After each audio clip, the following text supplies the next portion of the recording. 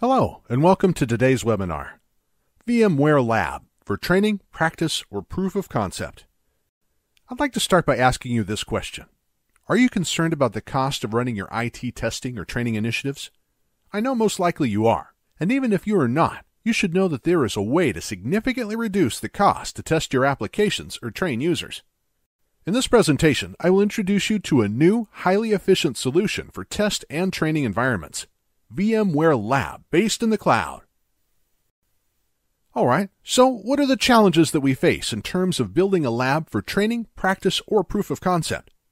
Challenge number one is we don't have sufficient servers, multiple network cards, lots of memory, fast iSCSI SAN or an NFS storage, enough switches or routers, AD, DNS servers, and the list goes on and on. In other words, building fully functional VMware Lab is expensive and it does require lots of resources. It's the single largest factor in the delay of user or sysadmin training. It significantly does slow down testing and releasing upgrades. It is also a major slowdown for planning new application deployments or building a proof of concept environment. So the time required to build and maintain test and training environments is challenge number two. Number three, it's a challenge to stay competitive and to support your production environment if you can't get access to testing, training, or hands on practice lab when you actually need one. Available servers dedicated to test usually are old systems and capable of handling the load, or simply can't run the latest software version, or it's not VMware compatible. Challenge number four. Because of the cost associated with buying servers and network equipment for testing and training, businesses see their test environments as inefficient and costly based on their return on investment Reality is, it's very hard to convince the CEO or CFO of the company to spend money for testing or training equipment. As a result of that, in many small organizations, there is no budget for test servers. So sometimes you are forced to use production servers to do testing, or you simply do not test at all. Did you know that the reason number one for production systems to go down is the fact the IT didn't test the upgrade or the new application deployment before putting it into production? Well, you should know that there is a way to deal with this problem. Quite often, the inability to ensure that test environments match production environments can result in quality problems and significantly slows down the process of finding a resolution to critical system and application issues when the systems and applications are deployed. As our virtual infrastructure configurations grows in complexity and VMware releases new products or a whole new line of products, we are faced with the same expectations to deliver tested and innovative solution by reducing not just the cost, but also to speed up the whole process of testing and training. Now, this is a real challenge if you don't have all of the resources. So how can you reduce the cost, the time to plan, install, configure, validate, and support complex virtual labs for training, practice, or proof of concept? Well, there is a solution, and it's time for you to look at private cloud-based environments as a way to address those challenges. It's time for a breakthrough, innovative solution called Cloud Based VMware Lab. The Cloud Based VMware Lab is a way to reduce the required time and investment in infrastructure because it delivers virtualized applications, operating systems, networking, and server resources on demand.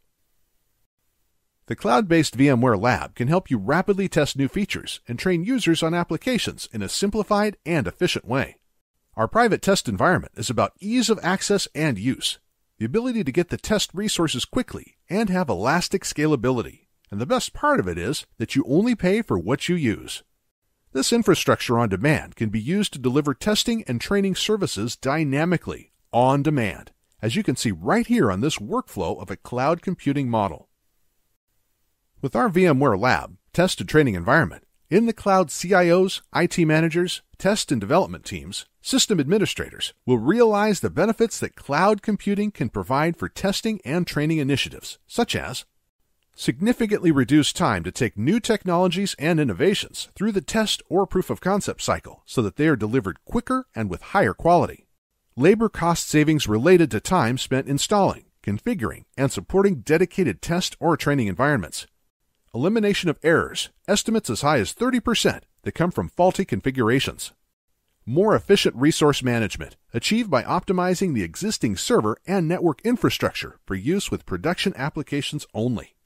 Reduction in IT operating and capital costs by avoiding the investment into underutilized servers and network infrastructure. All right, let's take a look at how the lab is organized. Let's start with the hardware layer. First, we have a number of enterprise level physical servers organized in a cluster, part of the same network. In each physical server, we have six network cards, two of them dedicated to SAN connectivity, and four to virtual machines and management, 32 gigs of RAM, and a KVM controller. We've got multiple redundant switches to serve each of the two physically isolated networks. The regular virtual machine network, green color, and the SAN network, red color. It's a best practice to run your SAN traffic on an isolated network segment for better performance and reliability. In fact, running your SAN and your regular network on the same segment is a recipe for disaster. For shared storage, we've got an array of Dell EqualLogic SAN units, physically cross-connected to two redundant SAN switches. Each SAN unit has 6 gigabit network uplinks to the switch, three of them connected to SAN switch 1 and three to SAN switch 2. The IP address of the iSCSI SAN, the iSCSI target, is 192.168.4.200. You're going to need this IP address to add a shared storage to your ESXi server.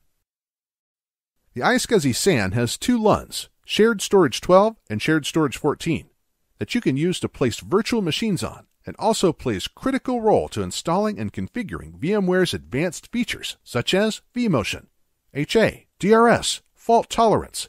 You need shared storage for all of these features to work. The two LUNs allow you to do storage vMotion, which is to migrate running VMs from one LUN to the other. Each one of the physical hosts, or servers, has two gigabit network cards cross-linked to the SAN switches for multipathing. Network card 1 is plugged into SAN switch 1, and NIC 2 goes to SAN switch 2. We use two network cards for SAN connectivity, so that you can configure SAN multipathing for redundancy, but also to bind the two network cards to increase performance. On the same network, we have an NFS server, IP address 192.168.4.222, that you can use to learn how to mount and work with NFS shares. And also, we've got a PXE server, IP 192.168.4.2.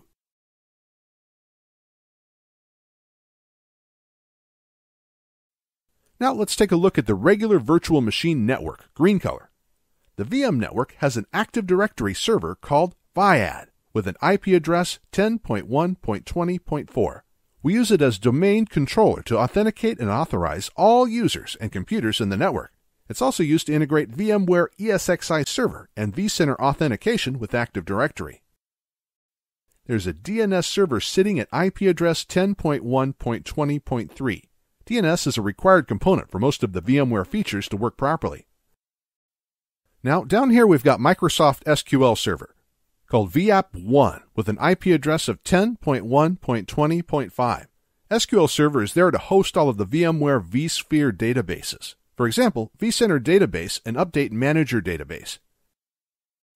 Right here, we've got the shared instance of vCenter Server called VAP3 with an IP address of 10.1.20.6 and fqdn vap3.lab.viadmin.com. You can use this shared pre-installed instance of vCenter Server to practice the advanced VMware features such as vMotion, high availability, fault tolerance, DRS, etc. This is where you can find Windows and Linux virtual machine templates that you can use to quickly provision new virtual machines. As I said earlier, each one of the physical servers has 4 gigabit network cards plugged into the virtual machine network switches. The reason we use 4 network cards for VM network traffic and connectivity is that 1. You can configure vMotion with its own dedicated NIC.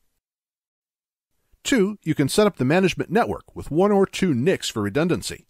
This allows you to experiment with link aggregation to achieve better performance and multipathing for redundancy.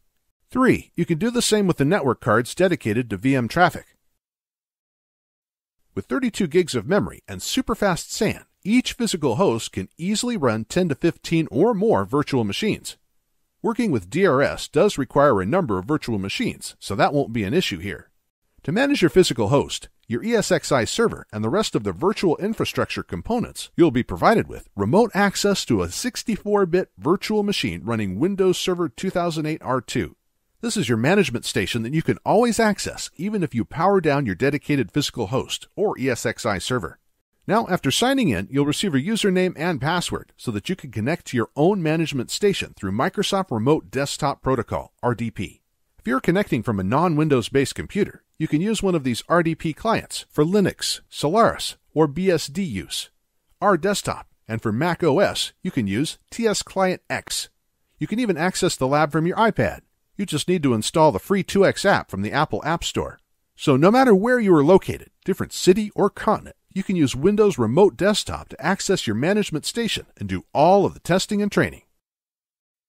With our standard package, when you log into the VMware Lab, in addition to your main physical host, for example, ESX100 IP 10.1.20.100, you have an access to at least one or more shared ESXi servers. For example, ESX60 with an IP 10.1.20.60 with the same specs connected to the same shared storage so that you can set up vMotion, HA, DRS, FT, and all of the advanced VMware features and without fast shared storage, you know that won't be possible.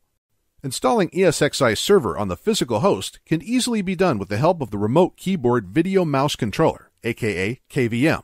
KVM is an interface card that provides out of band management facilities, meaning you can manage and configure server setting even if the server is powered down. It has its own web interface, network connection, and access to the server's system bus. With the KVM controller, you can power up and down your host, mount virtual DVD images in order to install ESXi. You can also access server's remote video console through a supported web browser, Internet Explorer, which gives you the ability to manage the physical host as if you were sitting in front of it. Alright, so with our cloud based VMware testing and training lab, we offer a new method of delivering complex testing and training environments that overcome many of the challenges of traditional testing environments and methods.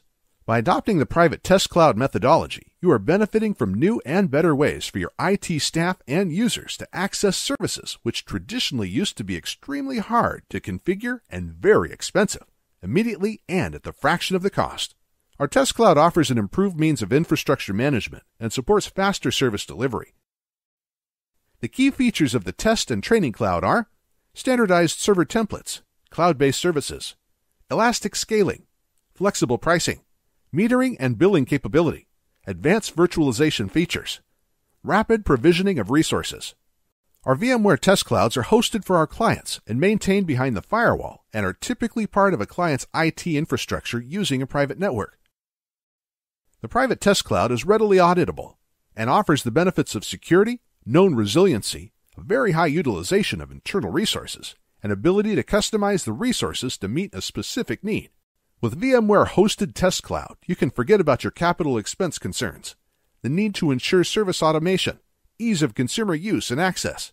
Also, you are no longer dependent on your internal availability, which may be limited depending on the resource investment you made in your infrastructure.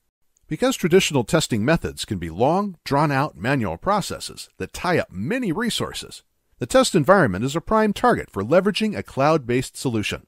Considering that development and test cycles are critical paths to offering new services to clients, it's an opportunity to increase the speed of innovation and improve solution quality. Cloud testing transforms the way testing and training is done and can help an organization boost its competitiveness by reducing the expense of testing and training without negatively impacting mission critical production applications. By leveraging a cloud for testing and training, organizations can shorten provisioning time because the cloud enables provisioning of test servers on demand.